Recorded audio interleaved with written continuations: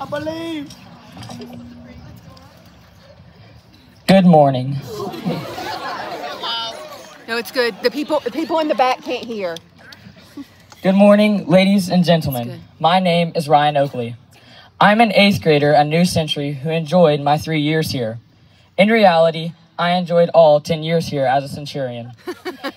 if you don't already know, my mom has been a teacher at New Century for the last decade, and I've wandered these halls and walked up and down this football field more times than I can count.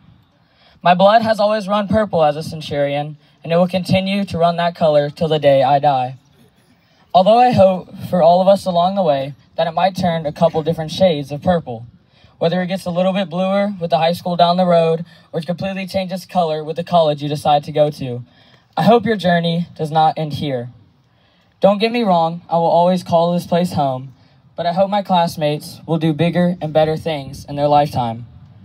New Century has been a place where academics and athletics are held to a high standard. Here among this group of 8th grade students, we have earned winning records, won conference championships, and even hung some banners in the gym.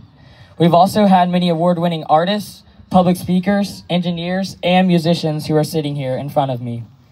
I hope our accomplishments grow, and I wish that all of you follow your passions wherever they may lead. I heard a quote once that read, Keep your feet on the ground and keep reaching for the stars.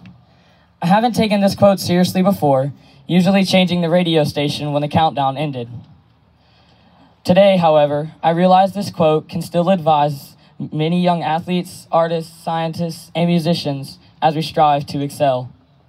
From my personal perspective, the Lord God has prepared us for the future. He's given us all the things we need to be successful. I give all the glory to Him for what we have accomplished and for what lies ahead. He'll never fail us, and He'll be there when we need a guiding hand. One of the many ways He's helped us, in my experience, was through the staff here. The staff have given us all the tools we need right through those glass doors to be successful. Ever since I can remember, teachers, janitors, lunch ladies, and the office staff have been the best help for my future. As a little kid, I wandered up and down the school looking for my mom and getting scared when I couldn't find her. Someone would eventually find me and radio her that I had been located. Even though I was technically found, I was never really lost. I've always found my way at New Century, whether it was choosing which friends to hang out with or deciding which sports and clubs to do. I never had a doubt in my mind of which school would be best to better my education and career than right here. The road ahead of the class of 2028 is long and treacherous. Based on our middle school accomplishments, however, we know this road can be conquered. I hope that everyone sitting here in front of me, whether you're the class of 2028 or the class of 1996, will pursue your dreams.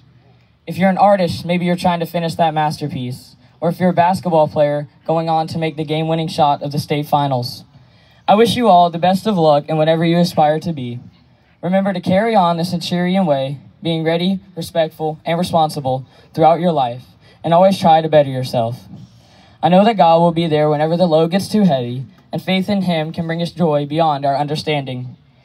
Make sure to enjoy your short life here on earth. Take each day as a new opportunity. As the movie character Ferris Bueller once said, life moves pretty fast. If you don't stop and look around every once in a while, you can miss it.